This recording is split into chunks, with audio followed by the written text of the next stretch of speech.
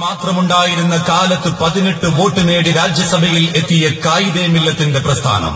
രാജാജി മന്ത്രിസഭയ്ക്ക് പിന്തുണ നൽകിയപ്പോൾ ലഭിച്ച മന്ത്രിസ്ഥാനത്തിന് പകരമായി കുറ്റിപ്പുറത്ത് ഒരു പാലം മതിയെന്ന് പറഞ്ഞ ഒപ്പി സാഹിബിന്റെ പ്രസ്ഥാനം.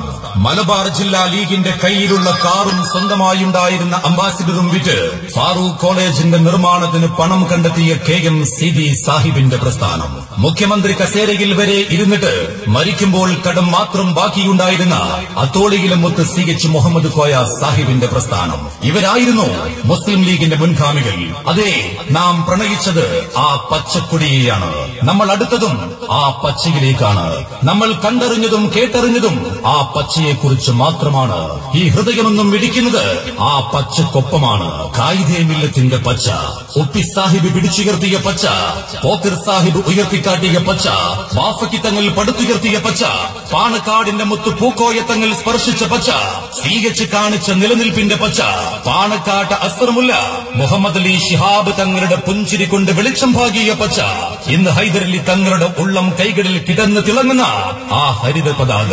ഈ പച്ചയെ പിച്ച് ചീന്തി തറയിലിട്ട് ചവിട്ടി മെതിക്കാമെന്ന് ഒരു പ്രമാണിയും വ്യാമോഹിക്കേണ്ട അതിനനുവദിക്കില്ല. വെള്ളയിൽ പൊതിഞ്ഞു നാലു കാൽ